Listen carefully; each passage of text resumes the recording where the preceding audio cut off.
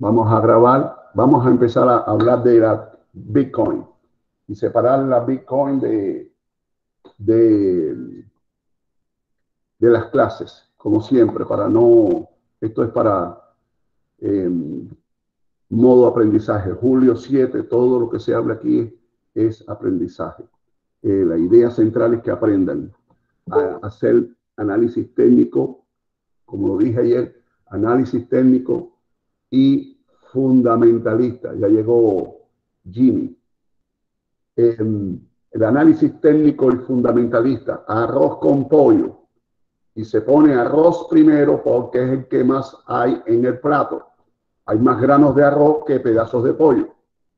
Así que la primera palabra es la que más fuerte es. Aquí estudiamos análisis técnico y fundamentalista. Los fundamentos cambian, actuaciones de los precios y son la base del, de la tendencia. Pero a partir de que suceda la información que genera el cambio, el cambio de fundamento, todo lo que viene es técnico. 85% de, de todo lo que sucede es técnico. Puedo decir el 95% y es suficiente. Hay gente que puede decir que nada más es el 50%, allá con su, con su voluntad. El 95% de todo lo que sucede en el mercado es puro técnico, es promedios, ángulos, formaciones. La formación de un triángulo ascendente tiene una valoración eh, en la arquitectura del desarrollo de la operación que no puede ser desestimada. Nosotros tenemos ahora eh, una actuación eh, de la Bitcoin, que es la criptomoneda imperial, vamos a ponerle un nombre imperial, tenemos la reina que es la Dogecoin, pero la imperial es la Bitcoin la que más valor ha y la que se ha convertido en referencia internacional y casi, casi ya en, en, temas ya casi de litigios y conflictos internacionales, porque eso pasa. Eh, se convierten en, en, situaciones de discusión ya bilaterales entre países y políticas entre países. Así que esta es la imperial. No creo que nadie la alcance. Así que la Bitcoin es una, moneda que ya se está convirtiendo de reserva eh, para muchos países. Ya hubo un país que la consideró como moneda de curso oficial. Oh, es un héroe ese hombre, el presidente Bukele. Así que, em, porque es la moneda que pueden usar todas las personas en el mundo no solamente los bancos centrales, que por cierto, ningún banco central la tiene todavía. Dicen ellos. Mentira, la tienen. Pero se dan cuenta que se está moviendo con una velocidad que nunca ha existido en el capitalismo de cinco siglos que conocemos. Por eso le tienen miedo. Así que lo que aprendamos aquí es muy fácil. Vamos a ir identificando como un objetivo educativo lo que ha pasado durante los últimos 45 días. Vamos a poner timer para que no se ceda, aunque esto nunca se cede en las criptomonedas. Em, aquí tenemos banda de Bollinger. Em, estoy tratando de identificar o la coloración, a ver cuál es la que, eh, a ver, esta amarilla, ahí está. Esta es la otra banda de Bollinger. Odio esto, vamos a eliminar esto aquí. Esta es la banda de Bollinger. Voy a mejorar los colores. Se dan cuenta la dificultad que tengo con los colores soy medio daltónico en algún momento y daltónico total en otro. Así que este parece que es el promedio de, de 200,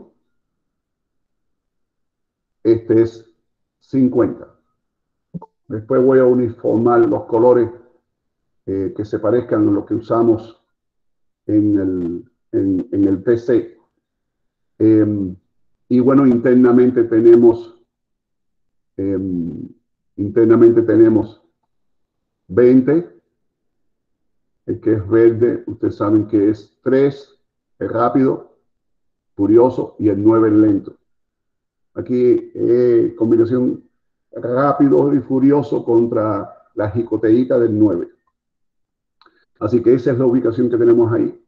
Ahora, para... Llegó el hombre que va a ser castigado, Girardo Carmona, que entró en foto. Necesito que después le ponga una foto al correo. Así que, y aquí vamos a identificar la cruz de muerte.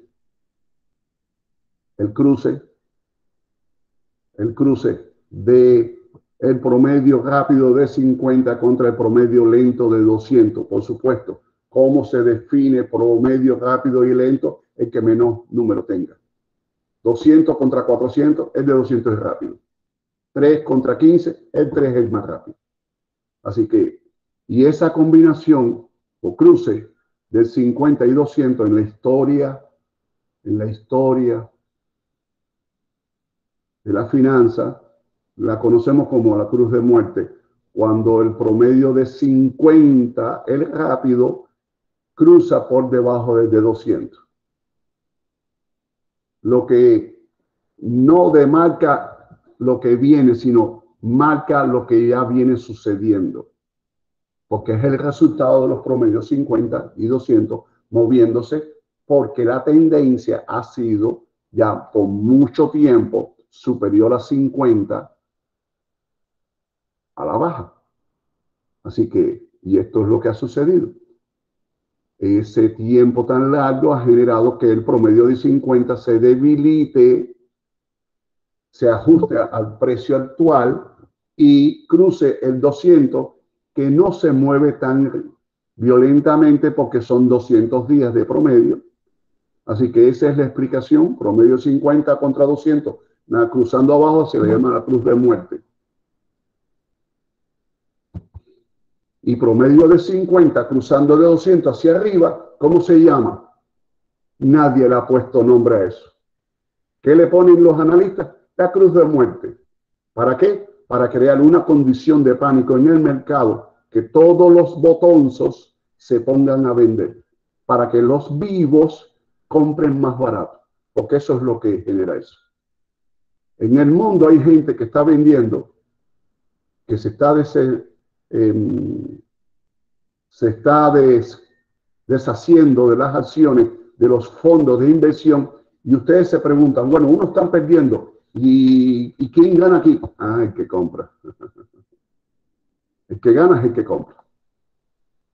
Así que déjenme tomar un poco de medicina porque tengo un poco de síntomas.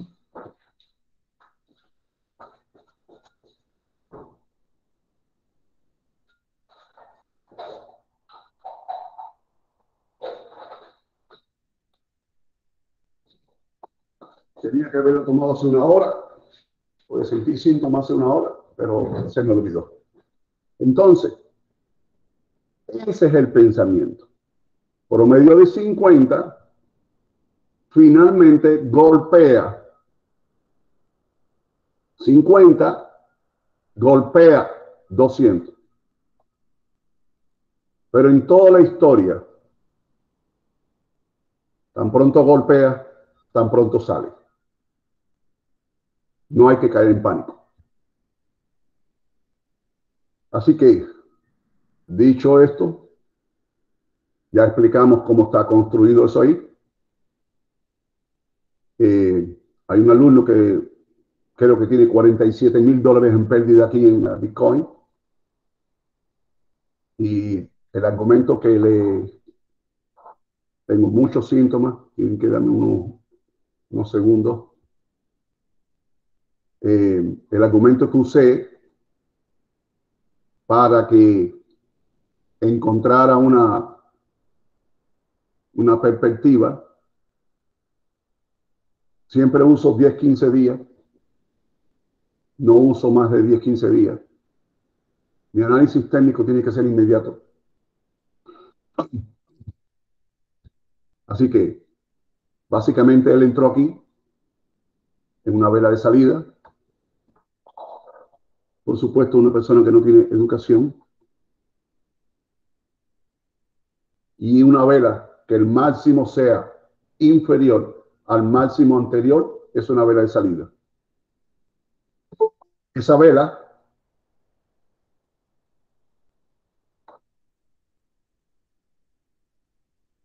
esa vela, Mónica, esta es la segunda vez que me entras con una carita de un muñequito.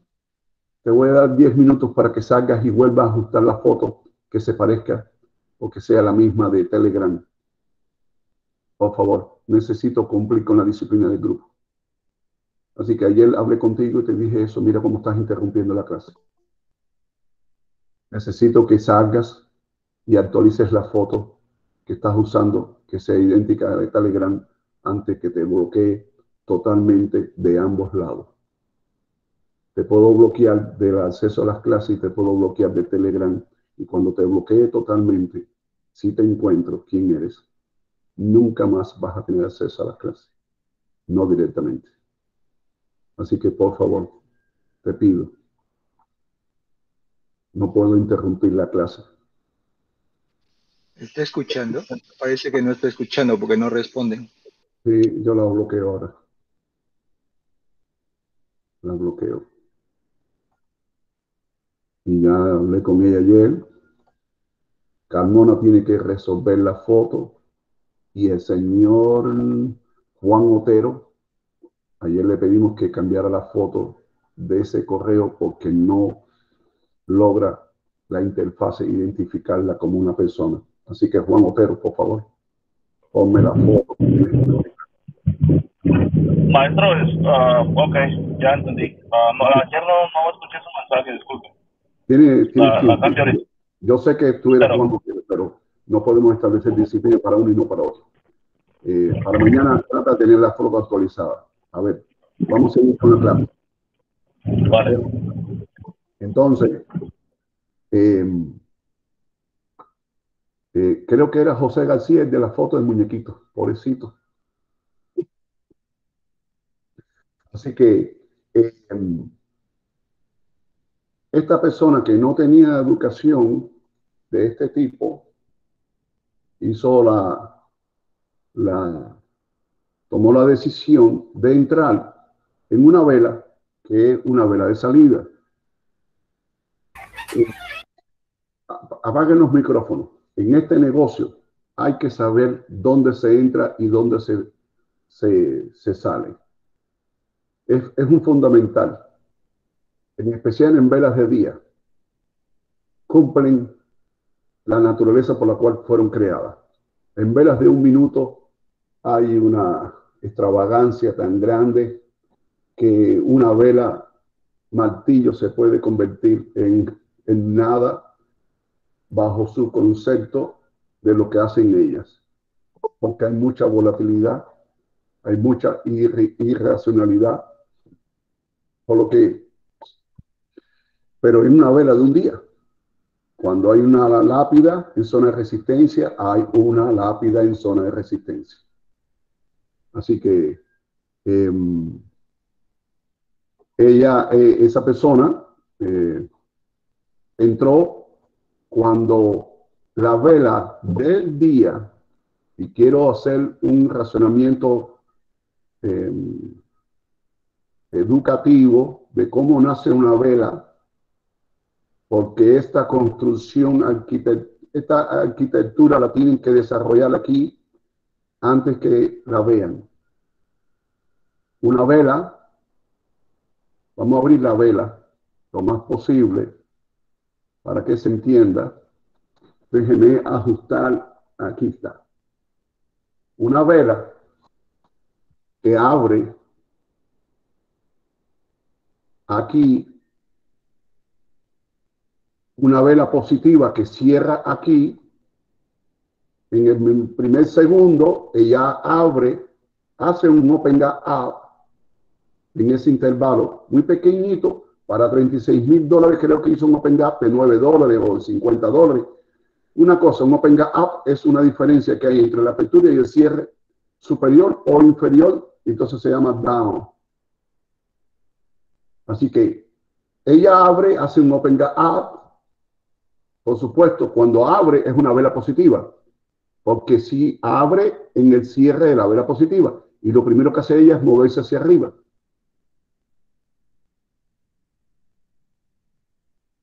¿Alguien está viendo lo que estoy haciendo? ¿Ustedes ven lo que estoy haciendo en la gráfica? Sí, profesor. Sí, profesor. Ok, porque estoy transmitiendo a TikTok en diferentes pantallas y bueno, creo que ellos también lo están viendo. Entonces, eh, es que hay tantos televisores aquí que a veces me confundo. Y empecé con síntomas, ya estoy ya mejor. Eh, y cae a la apertura. Este procedimiento de apertura máximo y volver a la apertura se llama lápida. Y una lápida, una lápida que se produzca, vamos a reducir el mapa. Denme un minutico para ajustar las Bollinger porque no logro identificar las Bollinger. Vamos a ponerle color blanco. Color blanco porque eh, esto me mata en fondos negros. Ahí no, no logro ponerle más espesor a la banda. Así que vamos a, ya mejoró blanco. Ya hay un contraste. Em, La línea del centro le llamamos EMA 20. Si uso la EMA 20, que es la exponencial, se diferencia de la simple. La simple es exactamente el centro de la Bollinger, porque el, el, algoritmo de la simple es usado para construir las Bollinger. Y las Bollinger son los extremos sobrecomprado o los extremos sobrevendidos. Ajeno del RCI 14. Así que dos formas de saber si es sobrecomprado o sobrevendido. Entonces, las bandas de Bollinger te está diciendo condiciones extremas de soporte, condiciones extremas de venta condiciones extremas de soporte, condiciones extremas de venta, o sea, de resistencia. Eh, no podemos perder esa perspectiva. Las bandas nos están dando una orientación y ustedes pueden conservar en la historia de cualquier comportamiento que cuando ellas rompen la banda, retroceden hacia el centro de la banda. O sea que esto tiene que ser una práctica muy fácil para todo el que opera aquí. Porque solamente me tengo que detener a esperar el momento que cruzan las Bollinger. Aunque hay que tener en cuenta cómo se va cruzando las Bollinger. Hay cruces de Bollinger que son continuados por un periodo determinado y pueden destruir cualquier posición. ¿Ok? Así que hay que tener mucho cuidado. No hay cruces de Bollinger. No hay cruces de Bollinger en mi vida en 36 años que he tenido la posición en overnight abierta. No, señores. Es muy arriesgado. Un cruce de las bandas de Bollinger se abren y se cierran en el día. Y si vas a hacer un overnight, que significa que pasar para el día siguiente, tienen que tener una reserva de capital lo suficientemente grande como para que no quede ni el más malo de la película, ni el inocente más inocente. Así que necesito que conserven la calma con las Bollingers, con las bandas de Bollinger. Son tocadas y casi siempre, como ustedes la pueden observar, no vale, no se justifica que se quede la posición abierta para el día siguiente. no se justifica. Si hay un 7% de probabilidades que se justifique, para mí eso no es un nivel alto, es muy bajo. Así que esta estudiante en zona de resistencia básica que empieza a partir de promedios de 20 hacia las Bollinger, zona de resistencia básica, zona de resistencia de soporte básico, es lo básico, es lo básico. Cuando el precio está a la baja, todos los promedios están navegando en la zona de soporte. Como ustedes lo observan acá, todos están aquí de la soporte para abajo. Aquí no hay nada. Cuando la tendencia es a la alza, arriba, en la zona de resistencia básica, están navegando todos los promedios. Entonces ustedes no pueden comportarse aquí con mucha ingenuidad porque la oportunidad, la oportunidad para comprar cómodamente es cuando los promedios están colisionando en la zona de soporte. Cuando los promedios están colisionando en zona de resistencia, se usa la estrategia de comprar alto para vender alto. Pero ya no hay overnight, no hay swing trade aquí. Y si no puedo abrir la posición para cerrarla en el día, pues tiene que ser moderada. Tiene que haber 50% de capital guardado para que se haga lo que se hace aquí todos los días, cada minuto. Así que, básicamente, el alumno entra en una zona de salida, vela de salida, que no logró calcular. Abre la vela, la vela sube y vuelve a caer a la apertura y nace lo que se le llama la lápida nace lo que se llama esa piedrecita que está sobre el cadáver enterrado a seis pies de profundidad. Es la muerte de los soldados.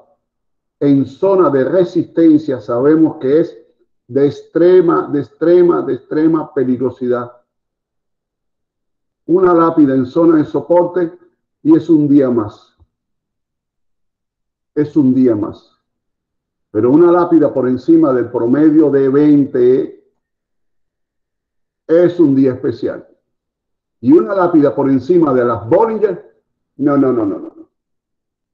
Aquí apaguen la computadora y váyanse. Porque lo que viene para abajo es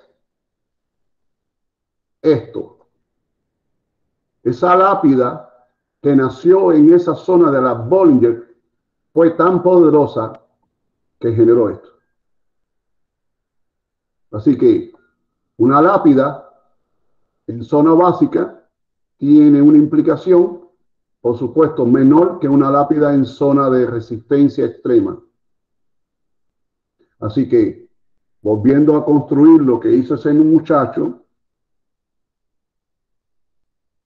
entró en velas de salida, siguió, siguió y bueno, cuando yo me lo encuentro, le digo, aquí hay un punto mínimo, punto mínimo, punto mínimo. Trazo una línea y después trazo otra línea porque encuentro que hay máximos que se detienen en una misma área. Y eso se llama resistencia a esa área. Así que han encontrado una resistencia siempre casi igual, pero el soporte no es igual, cada vez es superior. Significa, ajeno que son velas de entrada, significa que, que los vendedores no están aceptando la oferta de los compradores. Y los compradores se están ajustando a la necesidad de los vendedores. Ya no quieren vender ya no quieren vender a 28, ya no quieren vender a 30, ya no quieren vender a 32, ya no quieren vender a 34. Y nace la formación de triángulos ascendentes, que hemos visto en la historia, muy poquitos triángulos ascendentes que rompen al sur, contrario a su naturaleza. un, un, comportamiento así en términos de estadística matemática y de promedio, como queramos llamarle, no hay duda que hay un abandono de los mínimos, hay un rechazo al mismo nivel, es, una, es un proceso acumulativo. Significa que su condición natural en un triángulo ascendente es seguir ascendiendo. No podemos estar en la duda. Hay una probabilidad de que rompa. ¿Qué es lo que va a hacer romper hacia abajo? Un anuncio esquizofrénico. Un fundamento que ya se ha agotado. Llevamos 30 días, mayo 8 para acá, todo el mundo haciendo análisis tonto, comentarios tontos, irresponsables, malvados y manipuladores. Tienen válido para todos los tiempos. Así que ustedes tienen que saber que la, la narrativa contra la Bitcoin está extinguiéndose. O sea que este triángulo que tenemos aquí es un triángulo legítimo. Va a producir una ruptura aquí. En los próximos tres días va a haber una ruptura del promedio de 36 mil para entrar en un rango que ahí calculamos 40, 48. Porque a partir que rompa y se agote el promedio de 50, porque este promedio es 50, que en el término nuestro es 37.784. Tan pronto agote este promedio, que una vela alcance el promedio de 50, y ustedes saben que va a tocar promedio de 50 y va a retroceder, y vuelve otra vez a penetrarlo y va a retroceder, hasta que se consolide el promedio de 50 y rompa promedio de 50 y vamos a empezar a buscar máximos de velas. Porque cuando se extinguen los promedios hay que hacer caso a las máximos y a los mínimos de las velas que están en el objetivo, en una caída o en una subida. Así que, en términos de finanzas, vamos a tener ruptura de triángulo, captura de la Bollinger, que curiosamente, como todos aquí saben, que lo hemos visto miles de veces, cada vez que se contraen, explotan. Siempre hay una contracción ante una expansión. Así que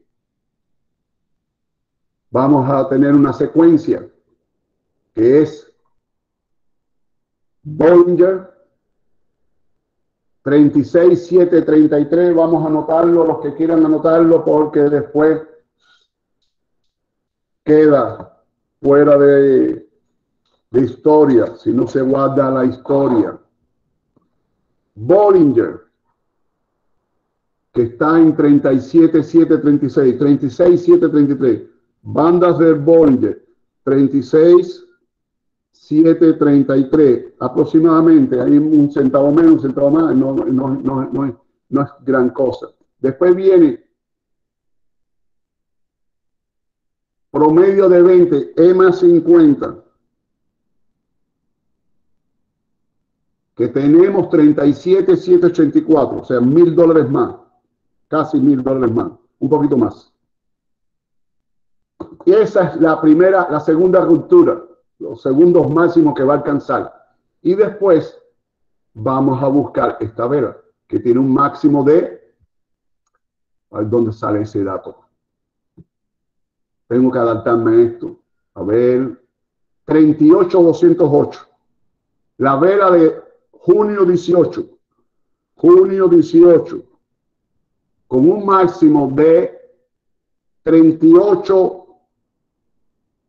208.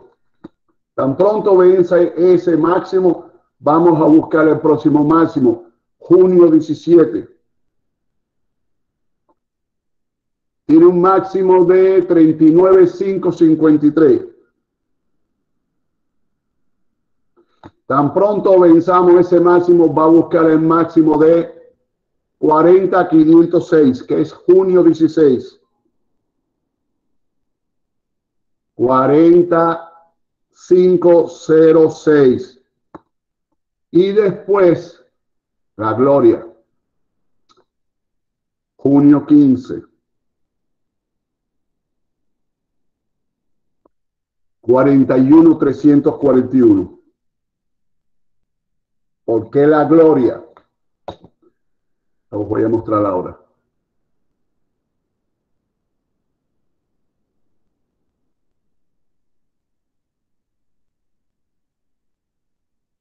Ayer lo vimos. Vamos a bajarlo un poquito.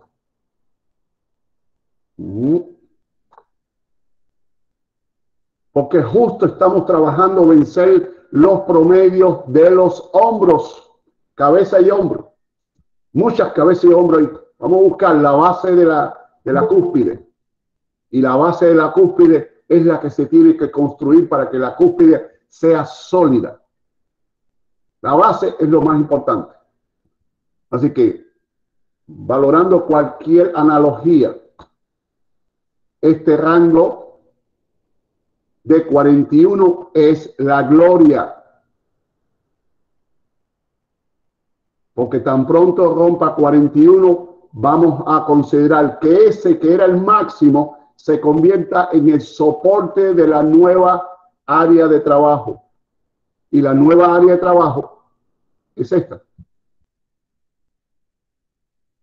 Así que vamos a, construir una idea estadística de que este, que es el máximo ahora, se convierta dentro de poco en el soporte de esta área.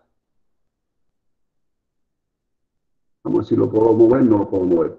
Déjame corregir.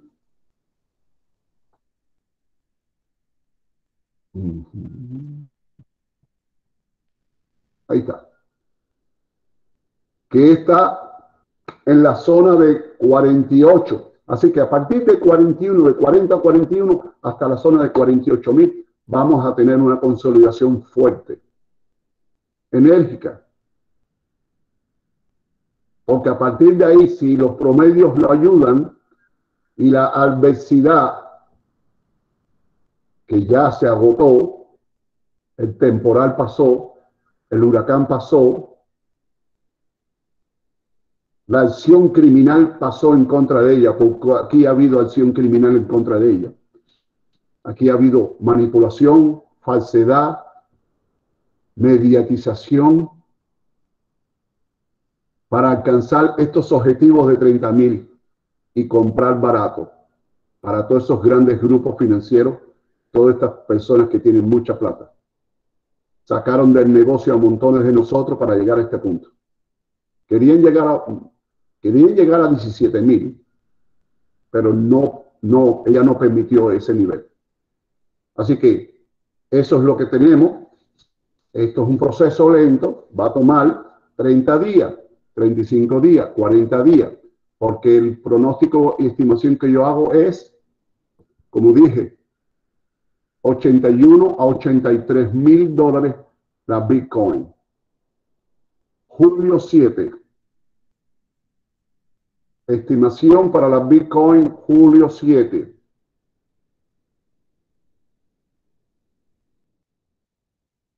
Voy a ponerlo acá.